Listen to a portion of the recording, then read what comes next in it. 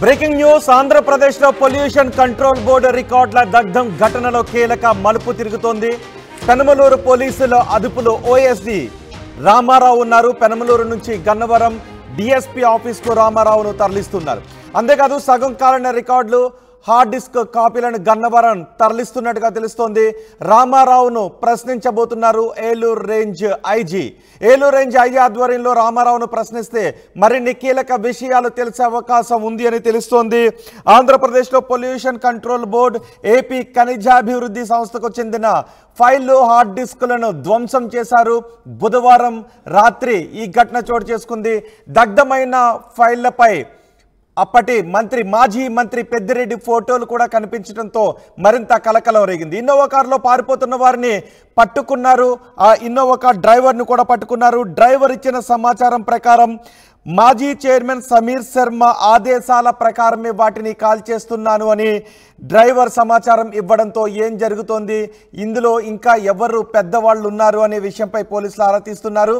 Excise శాఖలో సుదీర్ఘకాలం పనిచేశాడు. ప్రస్తుతం పోలీసుల అదుపులో ఉన్న రామారావు కొత్త ప్రభుత్వంలోని ముఖ్యులకు తాను ఓఎస్డీగా వెళ్తాను అంటూ కొంతకాలంగా రామారావు ప్రచారం చేసుకుంటూ ఉన్నాడు.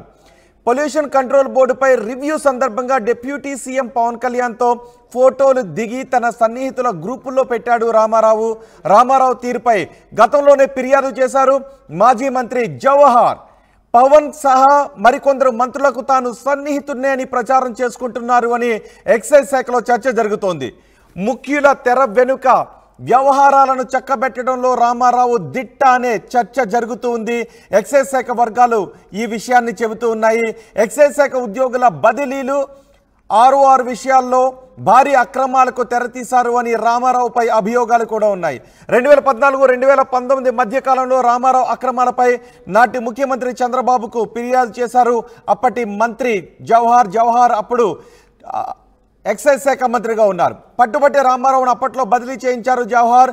మళ్ళీ ఇప్పుడు ఫైళ్ళ దగ్ధం ఘటనలో రామారావు పేరు తెరపైకి రావడంతో ఎక్సైజ్ శాఖలో ఆసక్తికరమైన చర్చ జరుగుతోంది. మా ప్రతినిధి రాజేష్ మనకు అందుబాటులో ఉన్నారు.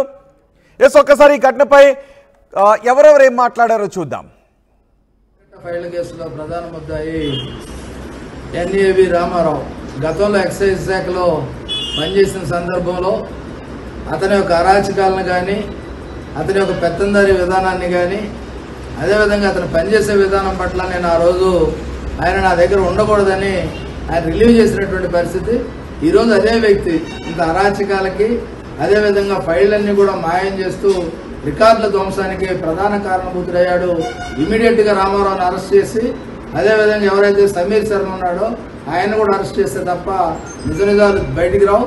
దయచేసి అసలు దగ్ధం చేసిన ఫైళ్ళలో ఏముంది? దగ్ధం అయిపోయిన హార్డ్ డిస్కుల్లో ఏముంది?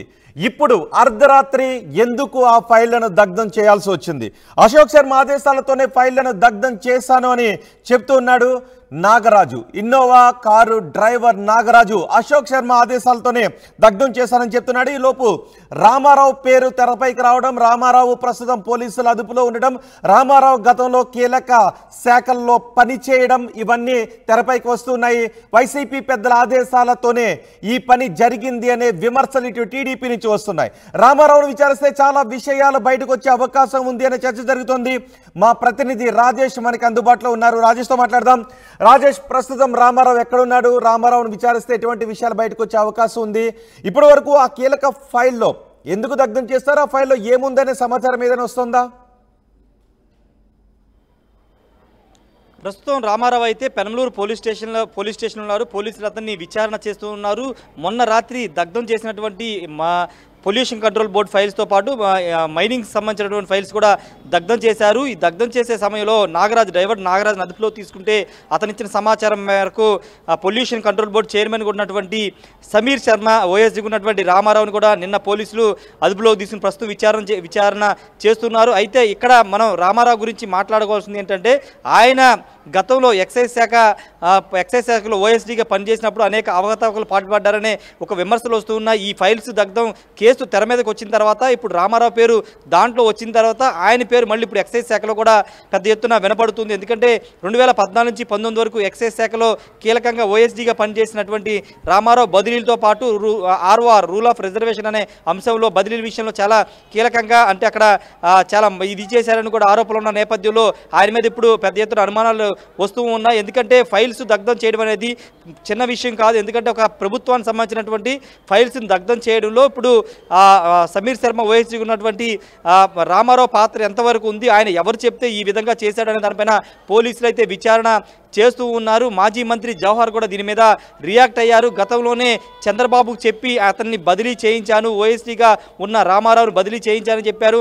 అంతేకాదు పొల్యూషన్ కంట్రోల్ బోర్డు దాంట్లో మొన్న ఉప ముఖ్యమంత్రి పవన్ కళ్యాణ్ బా రివ్యూ చేసే సందర్భంగా ఆయన కలిసినటువంటి ఫోటో ఆయన కలిసి వెళ్ళి ఆ ఫోటోని తనకి తనకు సంబంధించినటువంటి సోషల్ మీడియాలో గ్రూపులో పెట్టుకుని తనకు డిప్యూటీ సీఎంతో పరిచయాలు ఉన్నాయి. నేను పలానా మంత్రి దగ్గర ఓఎస్డీకి వెళ్ళిపోతున్నాను ఉప ముఖ్యమంత్రి దగ్గర ఓఎస్డీకి వెళ్ళిపోతున్నాను అంటూ రకరకాల ప్రచారాలు చేయించుకుని ఆ బదిలీలు చేయిస్తారని డబ్బులు కూడా వసూలు చేస్తున్నట్టు తెలుస్తుంది.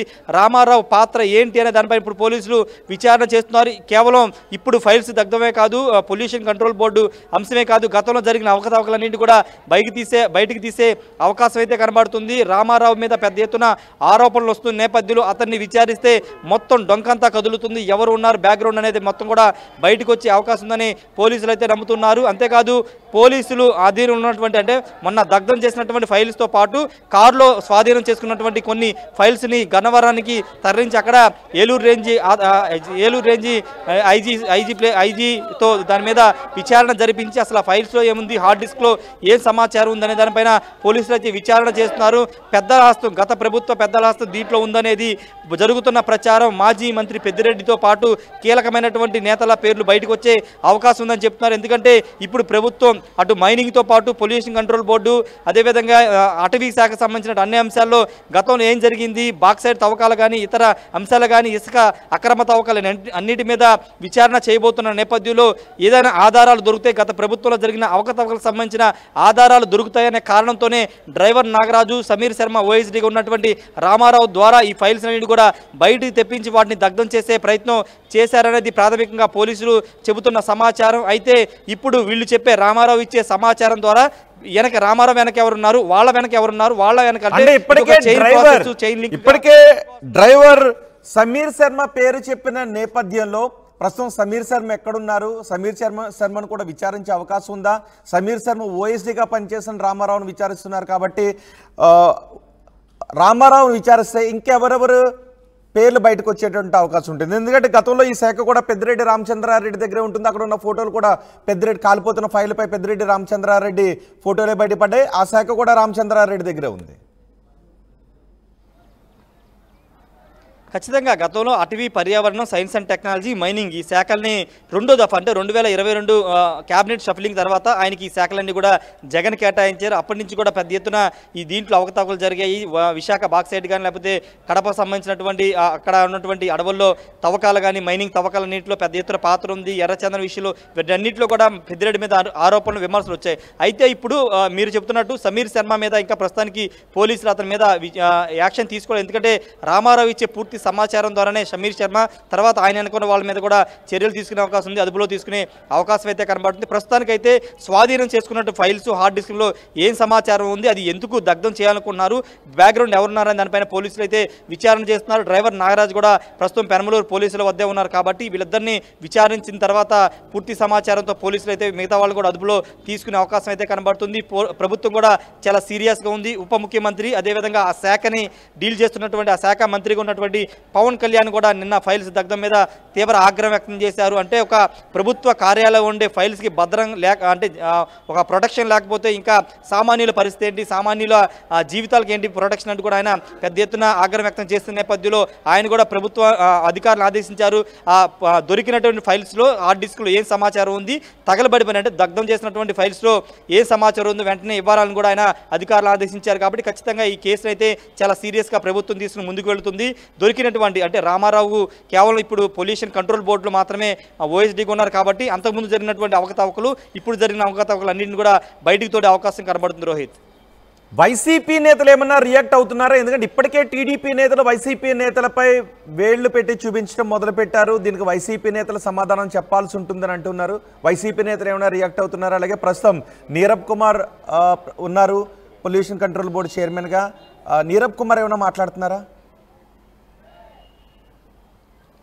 అంటే ప్రస్తుతానికి వైసీపీ నేతలు దీని మీద ఎక్కడ రియాక్ట్ అవ్వట్లేదు ఎందుకంటే ఇప్పుడు అంటే పేర్లు బయటకు వస్తే కనుక ఒకవేళ పొలిటికల్గా ఇప్పుడు కేవలం అధికారులు వాళ్ళ పేర్లు బయటకు వస్తున్నాయి. బ్యాక్గ్రౌండ్ పొలిటికల్గా ఎవరున్నారు? గత ప్రభుత్వంలో ఎవరు ఈ పెద్దలు ఎవరున్నారు? దానిపైన ఇంకా అధికారులు బయట పెట్టలేదు కాబట్టి ఆ పేర్లు వచ్చేదాకా వైసీపీ వాళ్ళు సైలెంట్గానే ఉండే అవకాశం కనబడుతుంది. ఒకవేళ పేర్లు పెద్దిరెడ్డి రామచంద్రన్ పేరు లేకపోతే ఇతర పేర్లు ఎవరైనా మంత్రుల పేర్లు గతంలో పనిచేసిన మంత్రులు వైసీపీ నేతల పేర్లు వస్తే అప్పుడు రియాక్ట్ అయ్యే అవకాశం అయితే కనబడుతుంది. ప్రస్తుతానికైతే కేవలం విచారణ మాత్రం చేస్తున్నా. విచారణ తర్వాత వాళ్ళు ఇచ్చిన సమాచారం విచారణలో వచ్చిన సమాచార ఆధారంగా ఫర్దర్గా పోలీసులు ముందుకు వెళ్ళే అవకాశం కనబడుతుంది. అంతకంటే ముందు ఫైల్స్ ఆల్రెడీ ఫైల్స్తో పాటు హార్డ్ డిస్క్లో ఉన్న సమాచారాన్ని కూడా తీస్తున్నారు. ఆ సమాచారం ద్వారా పూర్తిగా జరిగిన అవకతవకలు ఎవరున్నారో దానిపైన అంటే సగం ఖాళీ రికవరీ సగం ఖాళీ దొరికిన హార్డ్ డిస్కుల్లో ఉన్న డేటా రికవర్ అయ్యే అవకాశం ఉంటుందా? ఆ సగం కాలిపోయిన ఫైలులో కీలకమైన సమాచారం ఏదైనా దొరుకుతుందా?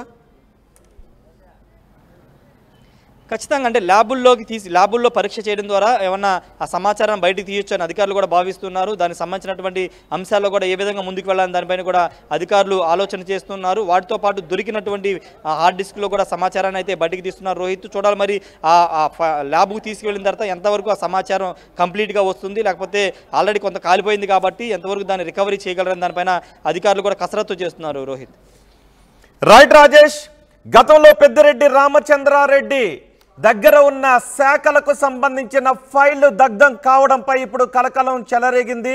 పొల్యూషన్ కంట్రోల్ బోర్డుకు సంబంధించిన ఫైళ్ళు హార్డ్ డిస్కులు దగ్ధమయ్యాయి. అలాగే మైన్స్ డిపార్ట్మెంట్కి సంబంధించిన ఫైళ్ళను కూడా దగ్ధం చేశారు. ఈ దగ్ధం వెనుక సమీర్ శర్మ ఉన్నారు. మాజీ చైర్మన్ సమీర్ శర్మ ఉన్నారు అంటూ ఆ ఫైళ్ళను ఏ కారులో అయితే తీసుకొచ్చారో ఆ కారు డ్రైవర్ చెప్తున్నాడు. ఆ డ్రైవర్ ప్రస్తుతం పోలీసుల అదుపులో ఉన్నాడు. దీంతో పొల్యూషన్ కంట్రోల్ బోర్డు ఓఎస్డీగా సమీర్ శర్మకు ఓఎస్డీగా పనిచేసిన రామారావును ప్రస్తుతం పోలీసులు అదుపులోకి తీసుకున్నారు. ఏలూరు రేంజ్ ఐజీ ఆఫీసులో రామారావును విచారిస్తున్నట్టుగా తెలుస్తోంది. ఇప్పటికే సగం కాలిన ఫైళ్ళను పోలీసులు స్వాధీనం చేసుకున్నారు. వాటిని రిట్రీవ్ చేసే ప్రయత్నం చేస్తున్నారు. వాటిలో ఎటువంటి కీలక డేటా ఉంది? ఎందుకు దానిని తగలబెట్టడానికి ప్రయత్నం చేశారనే విషయాలు పై ఎంక్వైరీ చేస్తున్నారు. రామారావును విచారిస్తే చాలామంది పేర్లు బయటకు వచ్చే అవకాశం ఉంది అని తెలుస్తోంది. రామారావు గత ప్రభుత్వం వైసీపీ ప్రభుత్వం అధికారంలో ఉండగా పొల్యూషన్ కంట్రోల్ బోర్డు చైర్మన్గా పనిచేసిన సమీర్ శర్మకు ఓఎస్డీగా పనిచేశాడు. ఇప్పుడు కూటమి ప్రభుత్వం ఏర్పడిన తర్వాత కూటమిలో ఉన్న కీలక నేతల దగ్గరకు కూడా వెళ్ళి వాళ్ళతో ఫోటోలు దిగి వాటిని సోషల్ మీడియాలో తన వారి దగ్గర సన్నిహితుల దగ్గర ఆ ఫోటోలతో నాకు ప్రస్తుత ప్రభుత్వంలో కూడా కీలక నేతలతో సంబంధాలు ఉన్నాయని ప్రచారం చేసుకునే ప్రయత్నాలు మొదలుపెట్టినట్టుగా తెలుస్తోంది. రామారావు కొంత అవినీతికి పాల్పడుతూ ఉంటాడు కాబట్టి గతంలో టీడీపీ హై ప్రభుత్వం అధికారంలో ఉండగా ఎక్సైజ్ శాఖలో పనిచేస్తున్నప్పుడు అతన్ని ఆ డిపార్ట్మెంట్ నుంచి తప్పించాను అని. గతంలో రెండు వేల పద్నాలుగులో టీడీపీ అధికారంలో ఉన్నప్పుడు ఎక్సైజ్ శాఖ మంత్రిగా పనిచేసిన జవహర్ కూడా చెప్తున్నారు. రామారావు కొంత అవినీతి పరుడు అని జవహర్ చెప్తూ ఉన్నారు. ఇప్పుడు ఏ ఫైళ్ళు అయితే దగ్ధమయ్యాయో అవి వైసీపీ ప్రభుత్వం అధికారంలో ఉండగా పెద్దిరెడ్డి రామచంద్రారెడ్డి దగ్గర ఉండేవి. ఇప్పుడు ఆ శాఖలు పవన్ కళ్యాణ్ దగ్గర ఉన్నాయి. పవన్ కళ్యాణ్ ఇప్పుడు ఆ శాఖలకు మంత్రిగా ఉన్నారు. నీరబ్ కుమార్ ప్రసాద్ ప్రస్తుతం పొల్యూషన్ కంట్రోల్ బోర్డుకు చైర్మన్గా ఉన్నారు. ఇప్పుడు పూర్తి స్థాయి విచారణలో ఏ విషయాలు బయటకు వస్తాయి ఏ స్థాయి వ్యక్తులు ఇందులో ఇరుక్కునే అవకాశం ఉంటుంది అనే చర్చ జరుగుతోంది. ఈ ఫైల్ దగ్ధం పైన రామారావు వ్యవహారం గురించి మాజీ మంత్రి జవహర్ మాట్లాడారు. జవహర్ ఏం మాట్లాడారో చూద్దాం. కరకట్ట ఫైల్ కేసులో ప్రధాన ముద్దాయి ఎన్ఏవి రామారావు గతంలో ఎక్సైజ్ శాఖలో పనిచేసిన సందర్భంలో అతని యొక్క అరాచకాలను కానీ అతని యొక్క పెత్తందారి విధానాన్ని కానీ అదేవిధంగా అతను పనిచేసే విధానం పట్ల నేను ఆ రోజు ఆయన నా దగ్గర ఉండకూడదని ఆయన రిలీవ్ చేసినటువంటి పరిస్థితి. ఈరోజు అదే వ్యక్తి ఇంత అరాచకాలకి అదేవిధంగా ఫైళ్ళన్నీ కూడా మాయం చేస్తూ రికార్డుల ధ్వంసానికి ప్రధాన కారణభూతుడయ్యాడు. ఇమీడియట్గా రామారావుని అరెస్ట్ చేసి అదేవిధంగా ఎవరైతే సమీర్ శర్మ ఉన్నాడో ఆయన కూడా అరెస్ట్ చేస్తే తప్ప నిజ నిజాలు బయటికి రావు. దయచేసి వాటిని వెలికి తీయవలసిందిగా కోరుతా ఉన్నాం. కరకట్ట ఫైళ్ళ కేసులో ప్రధాన ముద్దాయి.